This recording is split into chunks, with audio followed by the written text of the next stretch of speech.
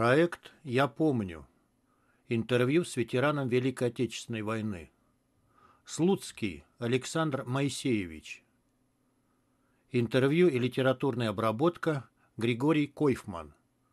Руководитель проекта и главный редактор Артем Драбкин. Опубликовано 24 июля 2007 года. Часть вторая. В Днепропетровске нас продержали недолго. Уже в конце июня среди пленных отобрали 150 человек, внешне выглядевших еще здоровыми, и отправили на строительство шоссейной дороги. Нас привезли в село Поповая Балка, это в 25 километрах на восток от города. Лагерь для военнопленных разместился рядом с дорогой, на территории сельской школы. Нас загнали в одноэтажное кирпичное здание, огороженное двумя рядами колючей проволоки. По периметру были будки для охраны. Все конвоиры в этом лагере были латыши. В селе находился немецкий гарнизон, в основном состоявший из солдат строительных частей. Главным руководителем дорожных строительных работ был немец, инженер, внешне похожий на Гельмута Коля. Этого немца мы прозвали между собой Ганс. На поясе у Ганса висел парабеллум, в руке увесистая березовая палка, в зубах сигара – он хорошо говорил по-русски, и когда работа шла в должном темпе, и Ганс находился в добром расположении духа, то этот немец вступал в разговор с военнопленными. Он шутил и призывал нас к стахановскому труду. Ганс хорошо знал систему социалистического соревнования в СССР, и, по его словам, он работал до войны на строительстве дорог под Ленинградом. То в шутку, то всерьез он приговаривал, что и немцы, и русские строят социализм, но немцы строят самый правильный национал-социализм, поскольку общий социализм для всех не построишь. Мы работали на пределе своих физических возможностей. Особым вниманием у пользовался богатырского сложения армянин по имени Арам. По количеству выполненной работы за ним не могли угнаться и три человека. Для укладки дороги группа военнопленных ежедневно при помощи молота колола крупные камни. Так у Арама всегда было наколото в два раза больше, чем у каждого из нас. Выяснилось, что до войны Арам был профессионалом-каменотесом, знатным стахановцем. Немцы скрупулезно относились к строительству, строго соблюдали технологию. Вся организация труда была продумана до мелочей, и инструмента хватало для всех. Копался котлован под дорогу, убиралась глина, завозился песок, после тщательной планировки которого укладывались камни, и в промежутке между камнями забивались клини и засыпалась щебенка. Затем по дороге шли катки и специальная трамбовочная машинка, которую мы прозвали «Лягушка». Немцы тщательно следили за качеством нашей работы. Мимо нашего лагеря каждый день на восток шли колонны большегрузных крытых машин с техникой, боеприпасами и разным снаряжением. Создавалось впечатление, что этой лавине не будет конца. Местные жители нам говорили, что немцами взят Кавказ, и войска давно уже за Ростовом. В этом лагере иногда, когда в конвой заступали немцы, жителям окрестных сел разрешали приносить пленным что-нибудь покушать, и один раз нам принесли ведро борща. Мы набросились на этот борщ, и казалось, что ничего нет на свете вкуснее и лучше него. Но когда нас конвоировали латыши, то это было для нас всегда тяжелым испытанием. Латыши служили немцам с собачьей преданностью, видимо, считая себя частью высшей арийской расы. В одной из ночей во время сильного ливня с грозой из лагеря убежало двое военнопленных.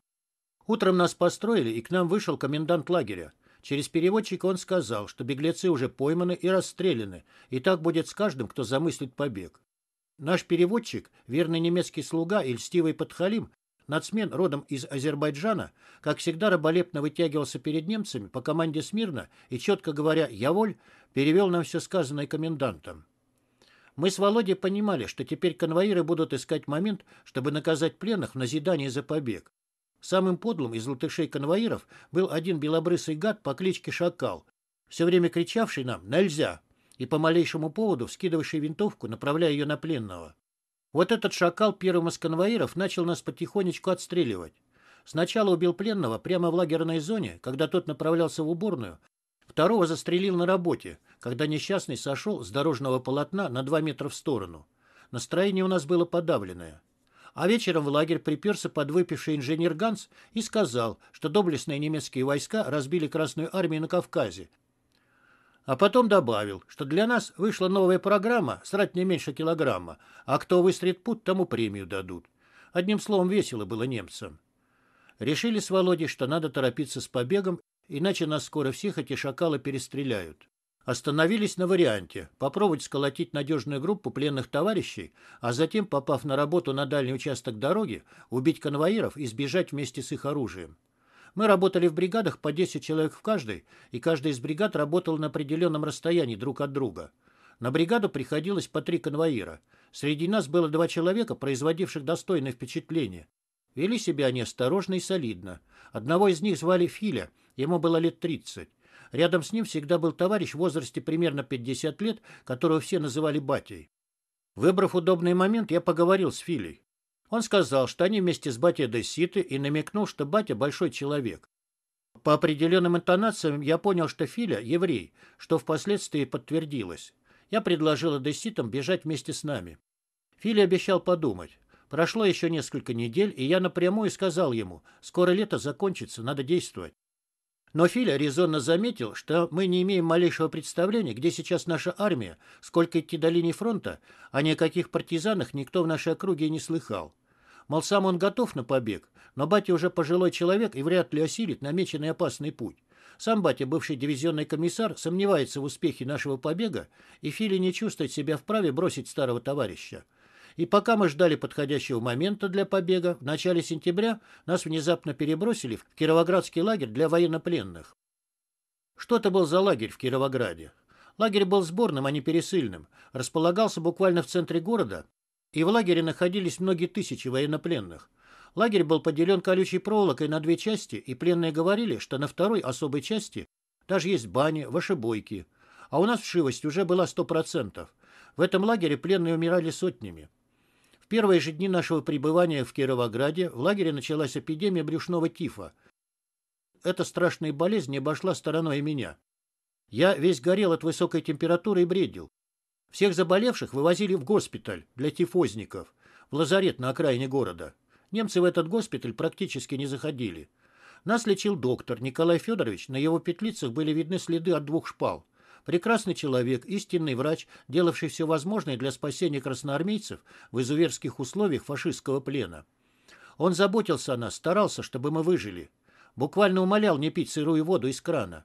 И здесь, в тифозном лазарете, я встретил своего земляка Ваню. Он был родом из Новоград-Волынского.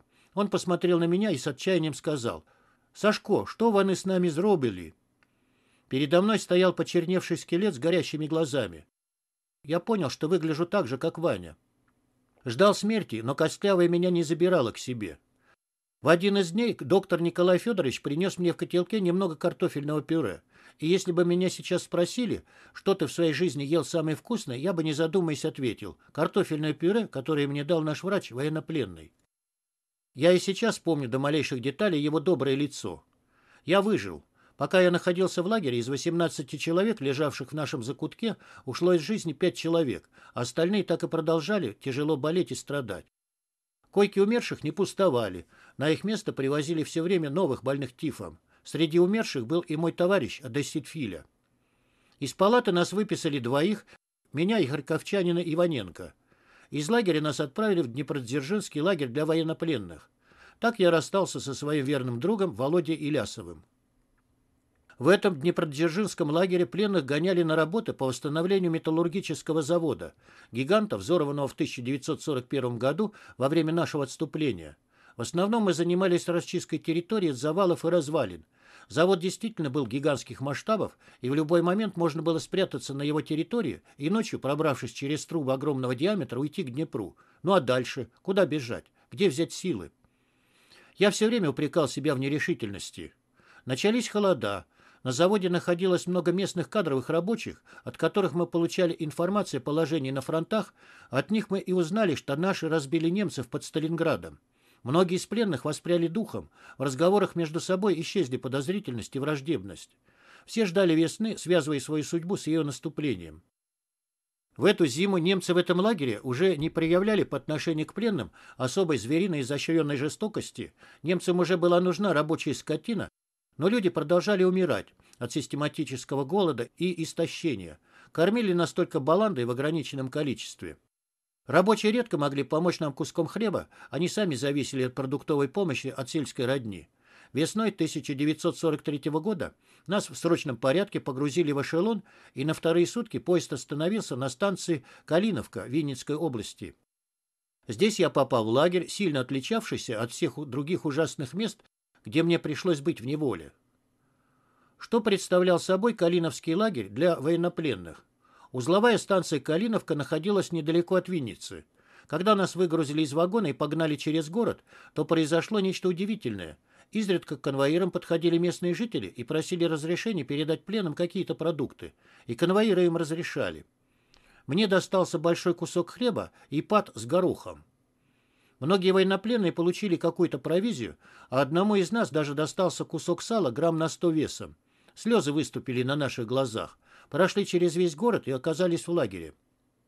Лагерь был большой, множество бараков, внутри были двух-трехэтажные нары, крытые соломой. У ворот находилась лагерная комендатура и помещение для охраны.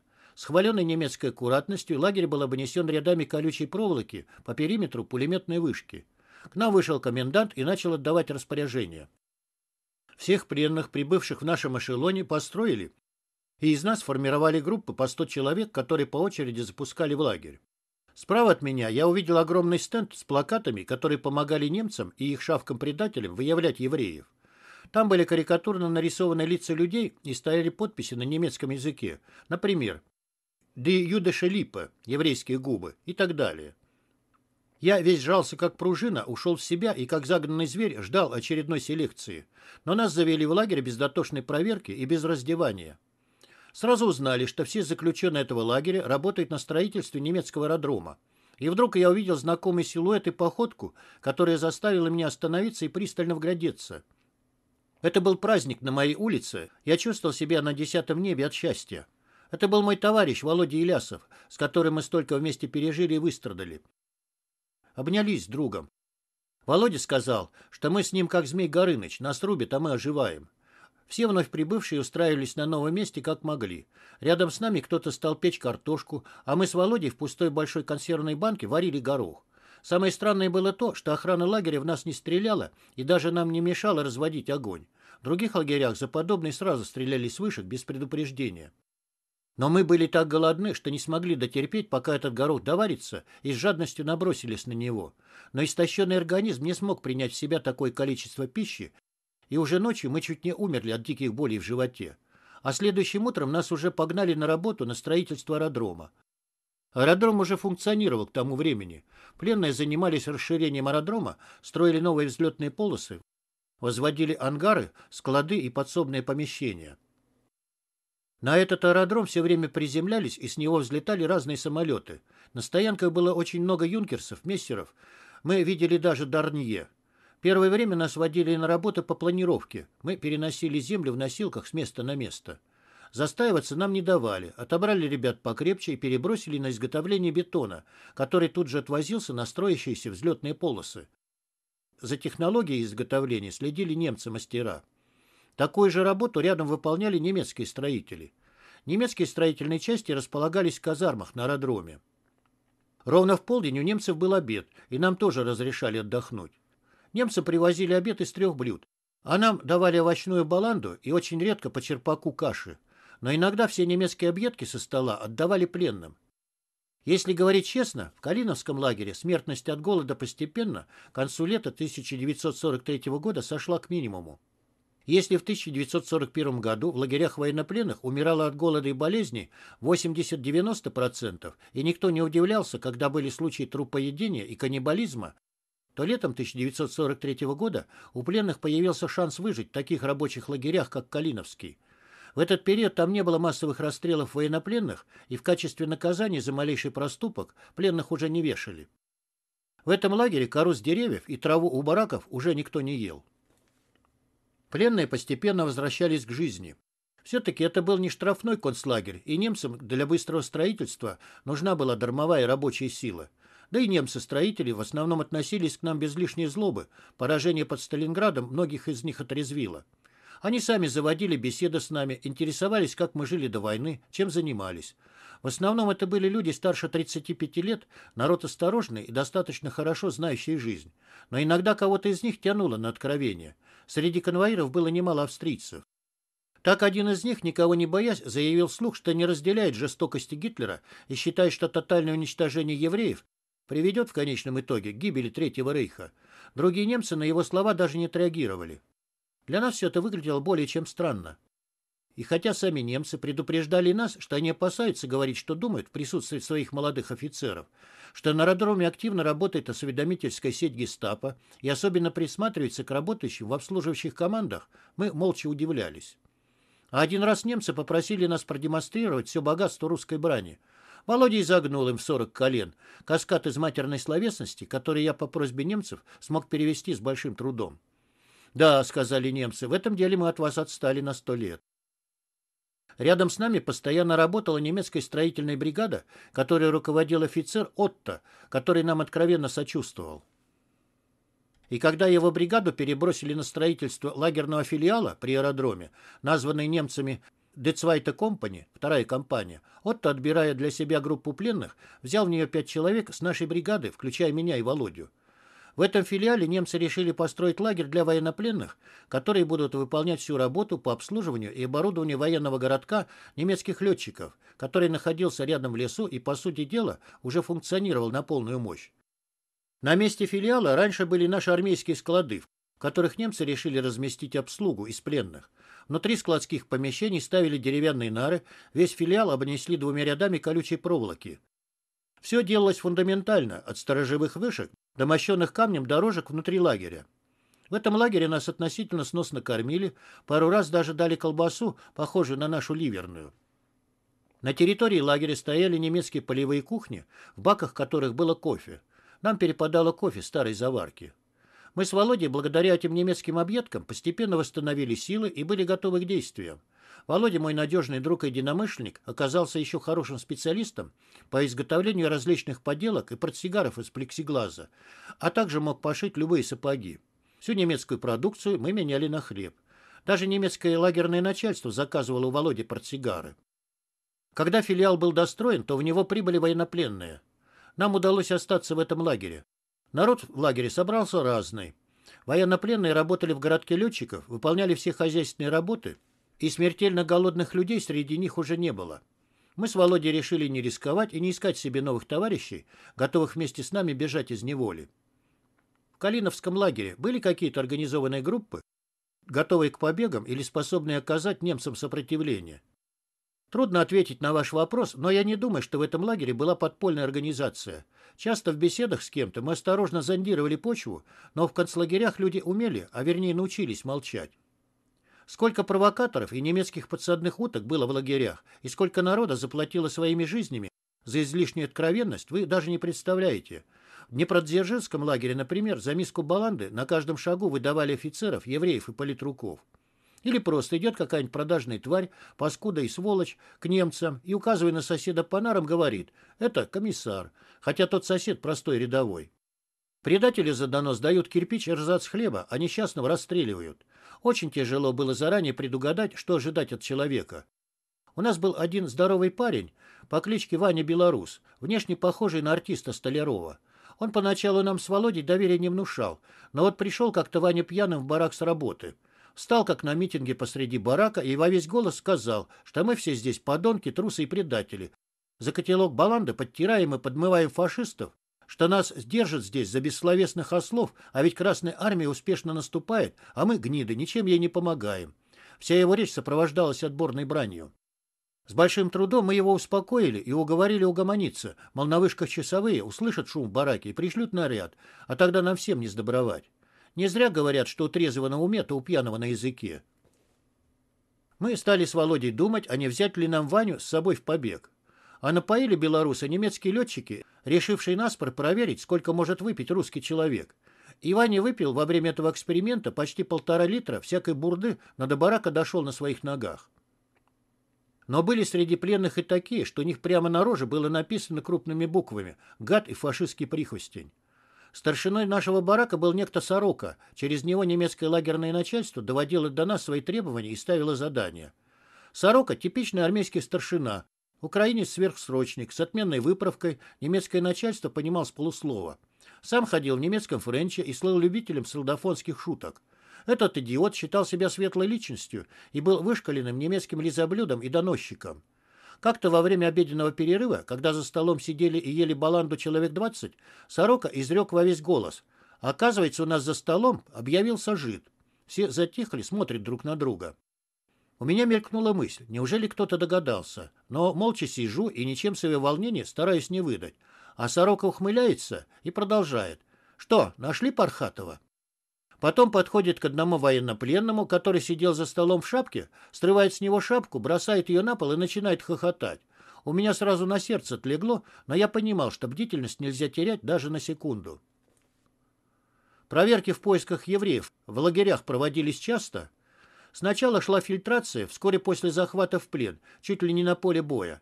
Те, кто не имел явную семитскую внешность и не был выдан немцам кем-то из сослуживцев, имели шанс в тот момент остаться в живых. Но это не спасало. В каждом лагере проводилась проверка по прибытии нового транспорта военнопленных. Еврею выжить в лагере военнопленных было неимоверно тяжело.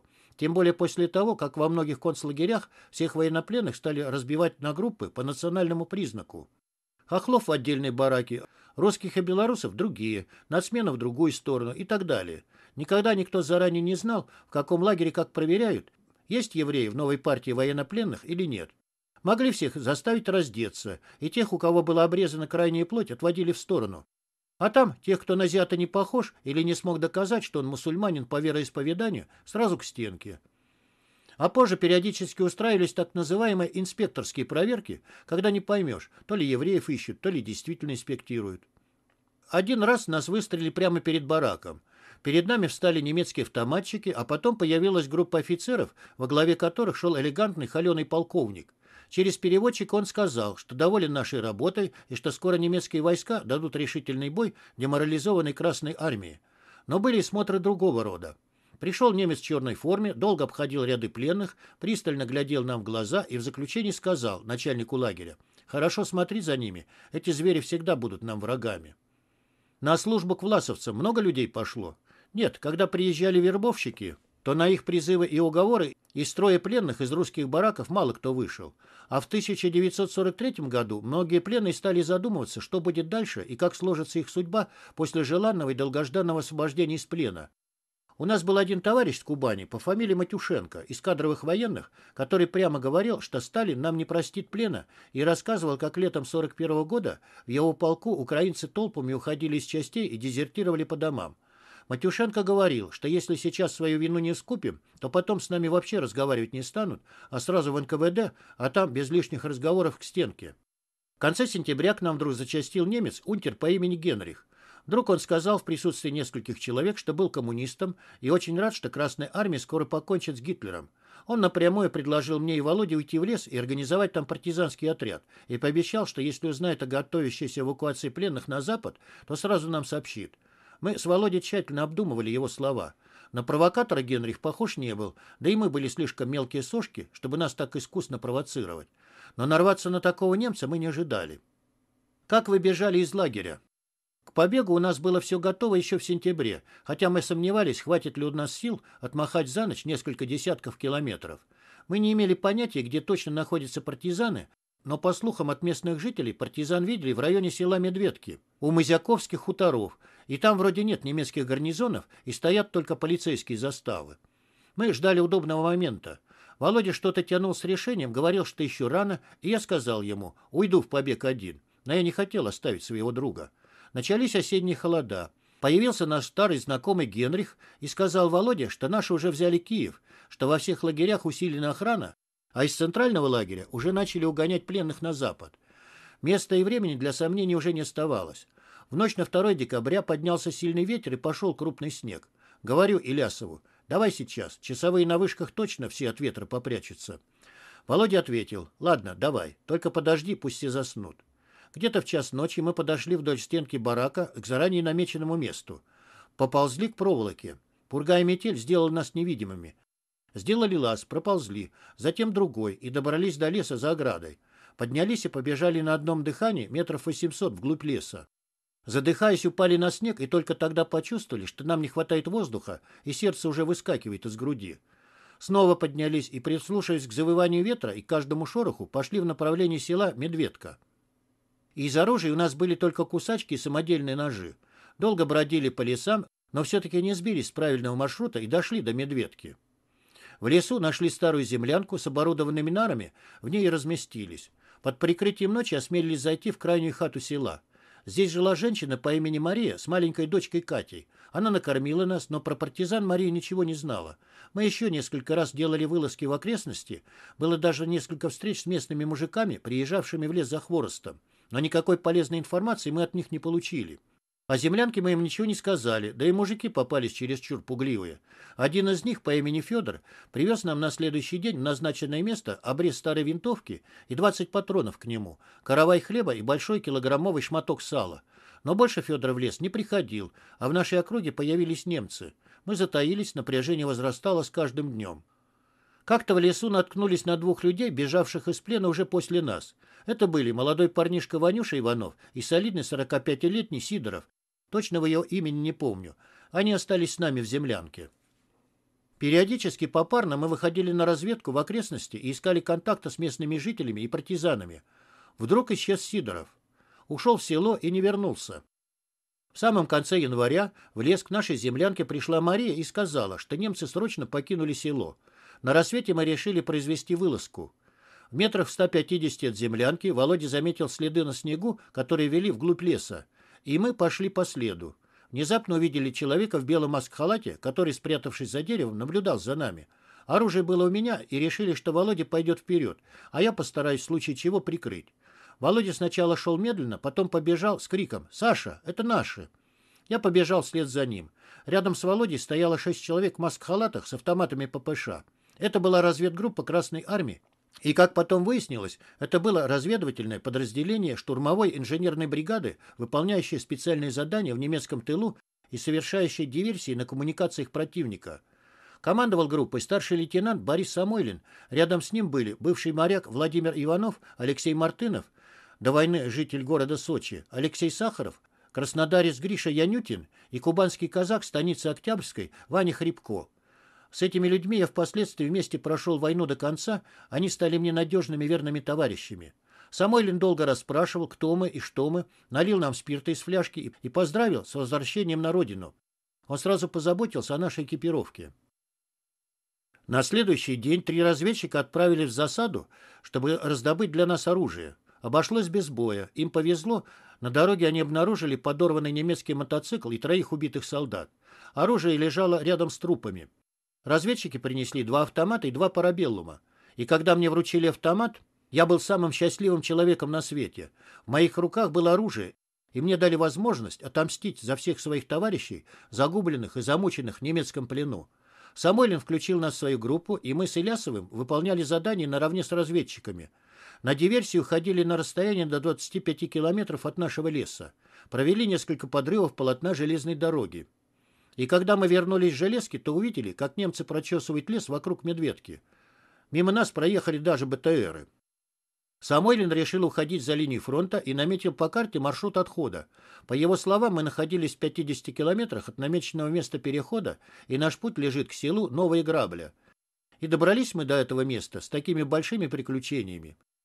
Был момент, что пришлось занять круговую оборону, и все разведчики уже готовились стоять насмерть до последнего патрона. Линии фронта группа прошла спокойно. Шли по компасу, но вскоре по осветительным ракетам точно определили линию фронта. В километре от немецкого переднего края остановились и тщательно приготовились к переходу на нашу сторону. По ракетам уже определили, что ширина нейтральной полосы на нашем участке примерно с километр. В 4 утра мы пошли. Самойлин решил языка на отходе не брать и постараться пройти незамеченными между двумя разрушенными селениями. Шли быстро и уверенно, но вдруг окрик по-немецки «Кто здесь?» Володя сразу ответил «Унзре», и мы, не сбавляя темпа, двинулись дальше. Скорее всего, немецкий дозор, окликнувший нас, просто перепугался и признаков жизни больше не подавал. У нашей линии траншей нас встретили пулеметным огнем. Мы залегли. При первой же осветительной ракете Самойлин встал во весь рост, поднял руки вверх и двинулся к окопам. Из траншеи раздался крик. Один к нам, остальным лежать на месте. Борис прыгнул в траншею, и минут через десять по команде мы встали и перешли на передний край. Нас разместили в одной из хат, на всякий случай под символической охраной, а Самойлин пошел в штаб полка, занимавшего оборону на данном участке. Вскоре пришла машина, И всех нас повезли в штаб 15-й инженерно-штурмовой бригады, в которой служили разведчики. Прибыли в штаб. Разведчиков встретили очень тепло, а мы, Илясов, Иванов и я, стояли какое-то время в стороне. Самойлин позже представил нас начальнику штаба бригады, и после бесед с каждым из нас и прочих расспросов Ванюша Иванова направили служить в 71-й саперный батальон, а меня и Володю отправили в распоряжение командира отдельной разведроты бригады, капитану Алексею Сергееву. Сергеев был бывший инженер-строитель в возрасте 30 лет. Ему уже рассказали, кто мы такие будем. Он объяснил нам наши будущие обязанности и дал команду старшине нас обмундировать. Нас оставили служить в первом взводе разведроты, которым командовал Борис Самойлин. Но Володю зачислили водителем, а меня определили в разведгруппу. Как вы думаете, почему вас с Володей не послали на проверку в фильтрационный лагерь? Я думаю, причина только в том, что мы вышли из немецкого тыла в составе армейской разведгруппы. Нас видели в деле разведчики и верили нам, а рекомендации и просьбы Самойлина убедили начальника штаба бригады полковника Еременко оставить нас в бригаде и даже доверить службу в разведроте. Наверное, сыграл свою роль и тот факт, что мы с Илясовым дважды бежали вместе из плена, и в наших рассказах о деталях побега не было расхождений. Но вы не переживайте. Бригадный СМЕРШ нас проверял неоднократно. Сразу после получения обмундирования нас пригласили исповедаться в отдел контрразведки бригады. Пришлось, помимо устных допросов, собственноручно подробно описывать все свое пребывание в плену на бумаге. И когда мне уже показалось, что с нас окончательно слезли, вдруг снова меня потянули в СМЕРШ и сказали, что мои объяснительные бумаги где-то затерялись и предложили опять все подробно описать. Позже меня проверяли еще два раза, и это несмотря на то, что к последней проверке я уже был награжден Орденом Славы и тремя медалями за отвагу и имел личную благодарность командующего фронта за успешно выполненное специальное задание. Так что проверили меня более чем основательно. Но ведь мне страшно повезло, что меня оставили в бригаде и в разведроте. Если бы я попал на лагерный фильтр, то трудно сказать, какая бы участь меня ожидала. В любом варианте я считался бы политрук, попавший в плен, и вряд ли бы принимались в виду обстоятельства моего пленения. Клеймо «был в плену» как-то влияло на вашу армейскую службу? Конечно, в те годы такой прокол биографии не забывался. Но, например, мне пришлось побывать в штрафной роте, и я не думаю, что на решение начальства закатать меня в штрафную как-то повлиял сам факт, что я когда-то был в немецком плену. И когда я попал в группу солдат бригады, отобранных на парад Победы, но туда в итоге не поехал, то я не связывал это с моим черным пятном в анкете.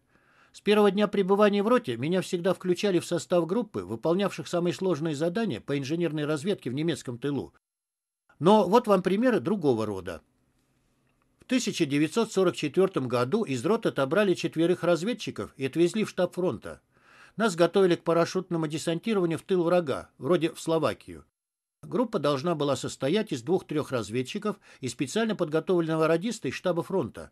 Подготовка заключалась в тренировочном прыжке с парашютом и ознакомлением с картами района, в котором нам предстояло действовать. Детали заданий нам предварительно не раскрывали. Из разведроты в штаб фронта поехали сержант Молчанов, Ильченко, Попов и я. Нам представили летчика Мухина, который был должен нас высадить в немецком тылу, а затем, если позволит обстановка, забрать нас назад, приземлившись в удобном и безопасном районе. Мы сделали по одному прыжку, и перед вылетом нам объявили состав группы. В него вошли Молчанов и Попов, которые, по сути дела, были новичками в нашей роте, а меня и Ильченко вернули в бригаду, без каких-либо объяснений. Но оно дело понятное, в армии не до реверансов и извинений. Но так как меня забраковали по анкете в самый последний момент, я связал это со своим пленом. Я жутко переживал из-за этого. Командир роты Сергеев как мог меня успокаивал. Не переживай, будут для тебя еще специальные задания. Видимо, кто-то наверху тебе еще не доверяет. Кстати, эта группа уже после выполнения задания нарвалась на Мадьярскую засаду, и из нее уцелел только разведчик Попов. И еще один незначительный аспект. Мои три медали за отвагу все получены в 1944 и для меня очень дороги, но было пару-тройку раз, что из штаба бригады хотели послать наградной лист на орден и передумали. Как намекнул начальник штаба Еременко, наверху не пропустит наградной на бывшего пленного, на БКЗ и так далее. Орден славы мне вручили по личному приказу конфронта генерала Попова.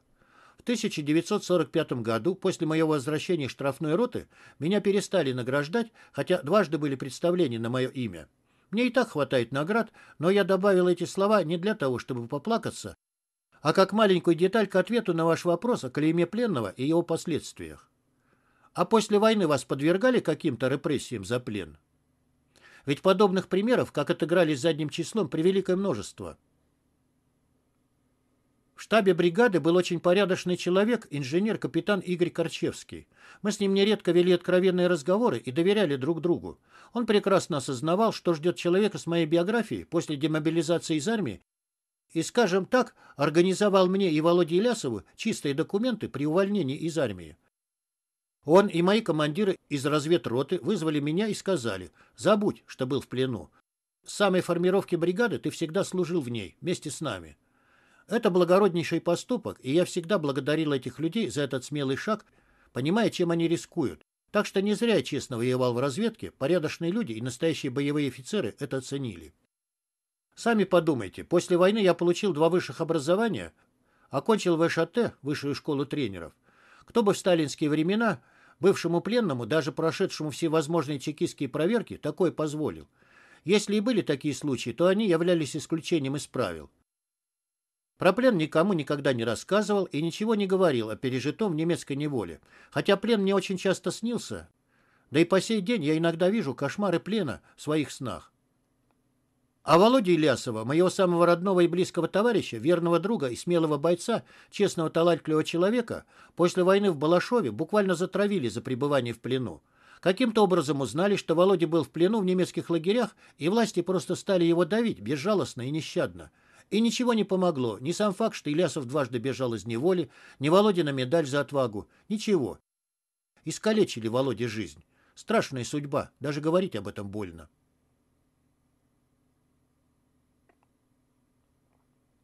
Интервью и литературная обработка Григорий Койфман.